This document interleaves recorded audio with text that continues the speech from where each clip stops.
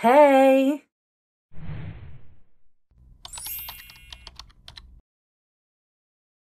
Bienvenue dans cette nouvelle vidéo, ça fait longtemps que j'en ai pas fait, bienvenue au petit nouveau, moi c'est It's Victoria et uh, welcome back à tous ceux qui me connaissent déjà.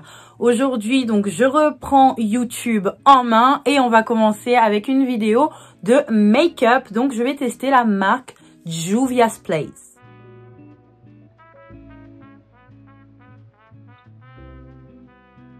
Commencer avec cette base qui est vraiment trop belle de chez Kiko. Avec des petites pétales de fleurs comme ça dedans. Elle est magnifique. Je pense que c'est la collection de Noël. Enfin, Kiko, ils aiment bien faire des éditions limitées. Donc, je sais pas si vous allez la retrouver. Ça sent trop bon. Ça rafraîchit et tout. Franchement, c'est top. Tu peux le mettre avant, après le maquillage. Ça rafraîchit. Et aussi, euh, elle m'a dit que c'était bien pour les peaux grasses. Donc, Petite pépite. Ensuite, comme d'habitude, je vais hydrater mes lèvres parce qu'elles sont super sèches. Chez Juvia, j'ai pris deux produits. Donc, j'ai pris euh, un baume à lèvres qui se présente comme ceci. Trop, trop beau, aux fruits de la passion. Il est comme ça. Et j'ai pris euh, aussi euh, un baume à lèvres brillant. Donc, comme ça, qui a la goyave. Donc, on va utiliser d'abord celui-ci. Il hydrate bien. Il donne ce petit côté rosé qui est cute. Je vais quand même mettre par-dessus vite fait le, celui à la goyave. Alors, celui à la goyave, l'embout est comme ça. Je vais le tester aussi rapidement.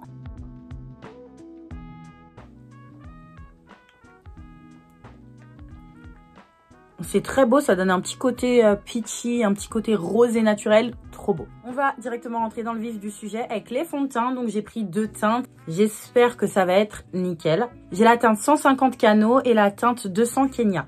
Donc je vais faire deux swatchs euh, sur le côté comme ça. Donc voici Kenya et voici Cano. Je sais pas si vous voyez, il m'a l'air un peu clair. Je pense que Kenya est mieux, a plus de sous-ton euh, orangé pour moi je pense qu'on va aller avec Kenya.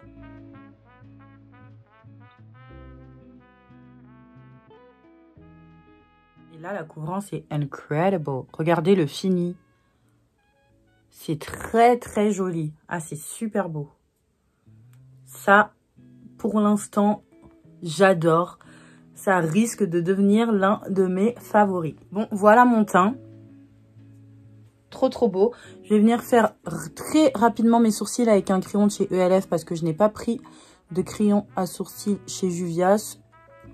Je ne sais pas pourquoi, ma teinte devait être en rupture si je me souviens bien ou c'est qu'il n'y en a pas. Bon, voilà, j'ai fait mes sourcils très rapidement, c'est pas le sujet de la vidéo. Je veux trop tester les produits. Pour l'anti-cerne, j'ai pris du coup euh, deux teintes, une teinte plus foncée, une teinte plus claire, mais les deux m'ont l'air très clairs. Donc, j'ai la teinte numéro 11 et la teinte numéro 14. Donc, les voici. Donc, on va prendre la 11 qui est euh, la plus foncée des deux. Pendant que je laisse un petit peu sécher euh, mon anti-cerne, je vais venir utiliser les sticks que j'ai pris. Donc, c'est euh, les sticks fond de teint comme ceci. Donc, j'ai une teinte foncée qui est la Tunisia. Voilà, qui va venir m'aider à faire mon contour crème et la teinte claire qui est Mozambique, qui a l'air déjà utilisée d'ailleurs, alors que je ne l'ai pas encore swatché. je vais la mettre directement sur ma peau. Voilà, là où je voulais le faire tout à l'heure. Ah, elle est beaucoup plus claire que mon anti-cerne. Et la teinte foncée, qui est la teinte du coup Tunisia.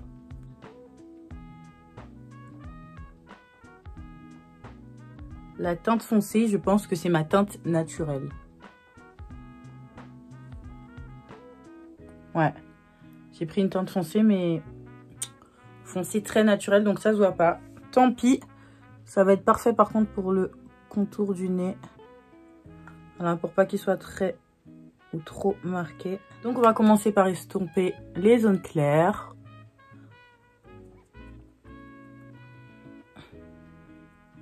Après, c'est pas des sticks de contour, c'est des fonds de teint en stick. Donc, que ça s'estompe bien, c'est un peu la moindre des choses. Hein. Bon, en tout cas, très très joli. Ils ont quand même de la couvrance. Je vois que je suis quand même plus claire ici. Je vais prendre un pinceau euh, fond de teint de chez Juvia's Place que j'avais euh, depuis euh, ma première commande. Et je vais venir estomper ce qui est censé être foncé et qui ne l'est pas du tout. Et voilà, donc là, je vais venir estomper mon dessous d'œil.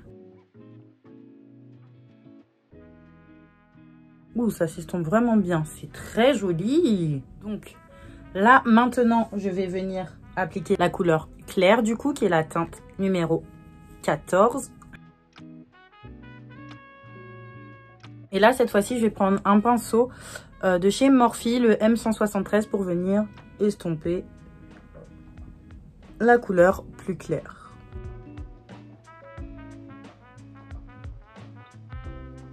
Pour les paupières, j'ai pris une base. Donc, j'ai pris le Eye Prep Eye Prime, la teinte numéro 3. Oula, ça m'a l'air très liquide. Oulala, là là, c'est très très liquide.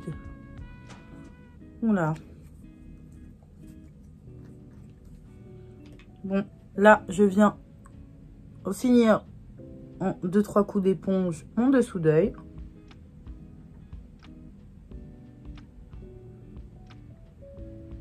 Qui est juste splendide.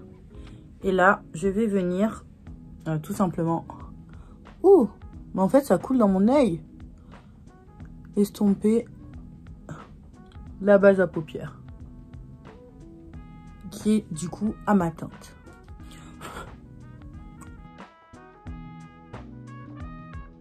On va passer au bronzer. Donc, c'est celui-ci. Je l'ai pris en teinte Deep Dark. La palette est trop, trop belle. Elle est beaucoup plus grosse que ce que je ne pensais. Euh, et dedans, du coup, il y a un miroir aussi. C'est top, top, top. Et il y a, euh, du coup, euh, une couleur froide et une couleur chaude pour venir bronzer, contourer, faire ce que vous voulez. Je vais commencer par la couleur du bas qui est la plus foncée et qui est la couleur froide parce que je veux vraiment euh, faire du contour là. Là, je vais vraiment venir creuser un peu, donner un petit peu de shape à mon visage. On va utiliser l'autre couleur, donc le la partie chaude, un peu bronzer. Voilà, ça bronze un peu. Ça, le bronzer, c'est pas précis. Voilà, vous voyez, c'est parfait, ce duo est parfait. Ça fait naturel, ça n'est pas trop. C'est très très joli.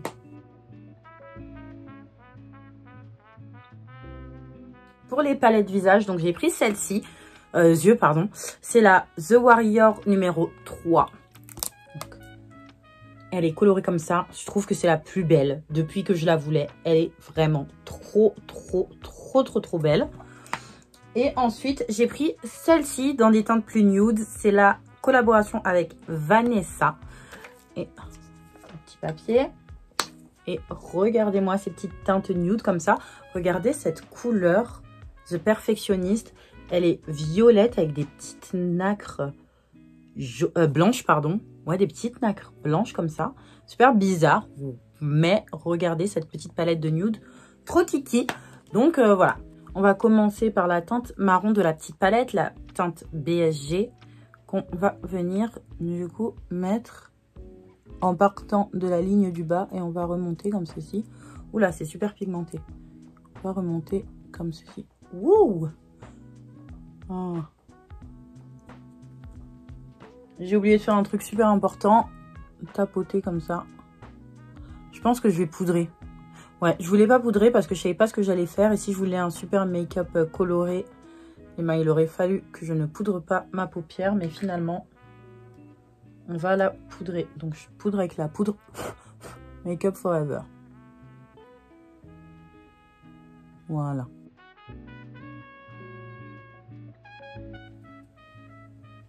Je vais prendre la teinte Aqua, qui est le violet de la palette. Et je vais venir repasser sur ce que je viens de faire et dépasser un petit peu en fait. Je vais prendre la palette colorée. Je vais prendre la teinte Jarawa, qui est cette couleur-ci. J'arrive même pas à la décrire. Orangé, rouge, brique. Voilà, comme ceci. Avec un petit pinceau beaucoup plus fluffy pour venir estomper le dessus. Juste ici. Ah, c'est archi pigmenté, il faut faire attention. Voilà. Là, je vais prendre mon anti-cerne de chez LA Girl pour venir préciser euh, ma forme.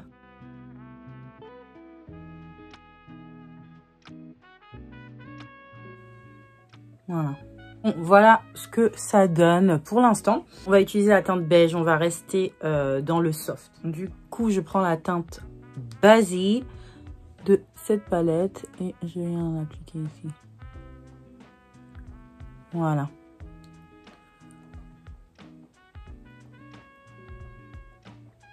Voilà, maintenant je vais venir enlever euh, tout le baking que j'avais laissé euh, au cas où il y avait des chutes.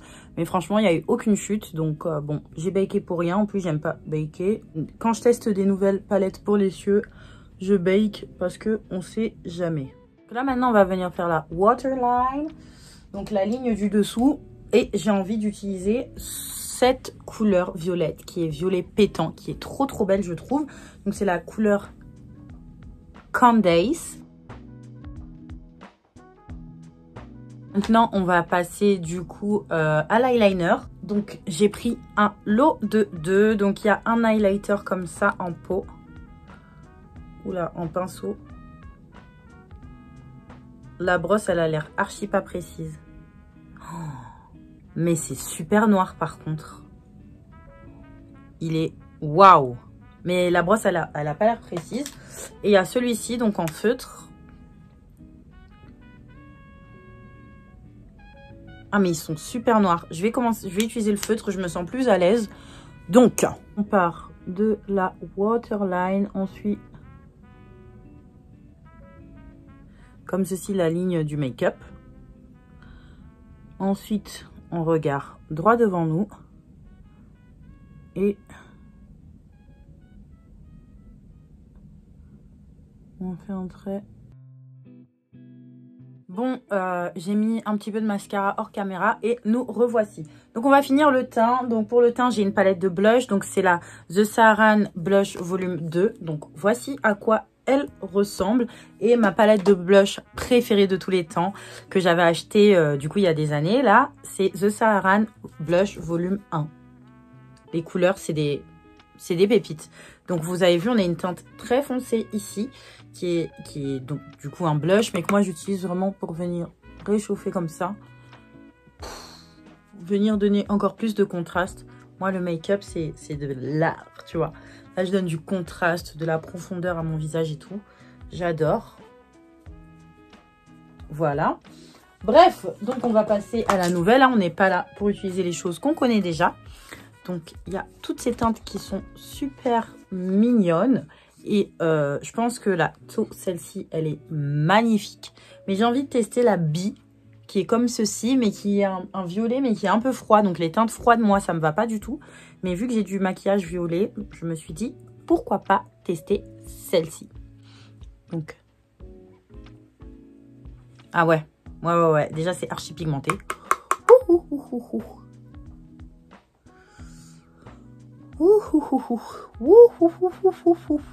J'en ai mis beaucoup, beaucoup trop.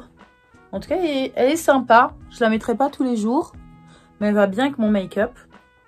Mais je vais pas pouvoir m'en empêcher. Je vais utiliser la teinte tôt ici pour venir un petit peu donner un petit peu de, chaleur, tu vois. Voilà. Les deux mélangés, par contre, c'est magnifique. Ça change. Ouais, c'est très, très joli. Les blushs, de toute façon, de chez Juvia, c'est mes blushs préférés. Qu'on se le dise. Ouais, ça va. Ça va super bien avec euh, mon maquillage. Je vais utiliser la teinte la plus foncée. Comme ceci.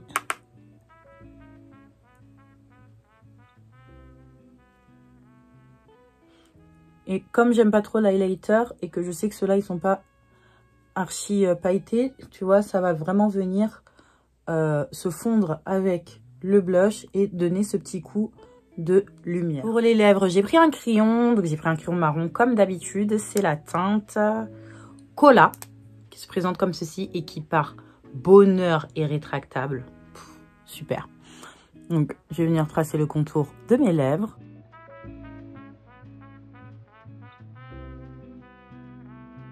J'ai un rouge à lèvres. J'aime trop le côté dégradé comme ça. C'est la teinte Mi qui s'est abîmée pendant le voyage. Regardez abîmé. Vous voyez rien, mais il est abîmé. Donc, c'est un rose poudré comme ceci, qui j'espère va m'aller. Il m'a pas l'air très solide, hein, ce, ce Rodi. Mais la couleur, c'est de la bombe. Oh. Je mets comme ça, très mal. Mais, oh, il est archi crémeux. Oh, c'est, oh. Oh, là, je viens vraiment tapoter pour que le crayon se fonde bien avec les leurs. Et j'avais un autre produit qui est comme ça. Je me demande pourquoi je l'ai acheté. J'étais vraiment en mode violet. Euh, c'est le, c'est un gloss en fait. Euh, un gloss euh, violet comme ça. Transparent. Donc, je vais venir bah, l'appliquer. On va voir.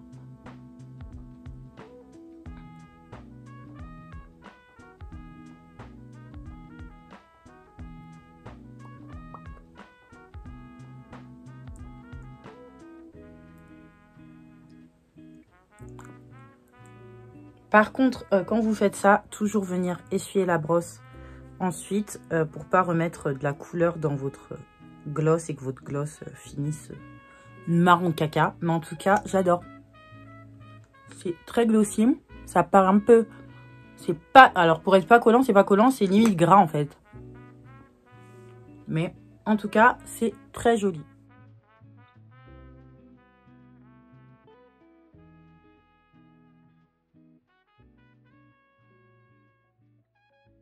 J'espère que cette petite revue euh, crash test haul vous aura plu. Euh, moi en tout cas j'ai kiffé, euh, j'ai adoré les produits, d'autres plus que d'autres et moins que vous avez capté. En tout cas n'hésitez pas à me suivre sur Instagram. ça fait toujours plaisir à liker si vous avez aimé, à me dire ce que vous en pensez, ce que vous voulez que je teste. C'est bon, je suis revenue. Et euh, moi, comme d'habitude, ça m'a fait super plaisir de tourner cette vidéo pour vous. Et je vous fais de gros bisous, mes petits passions.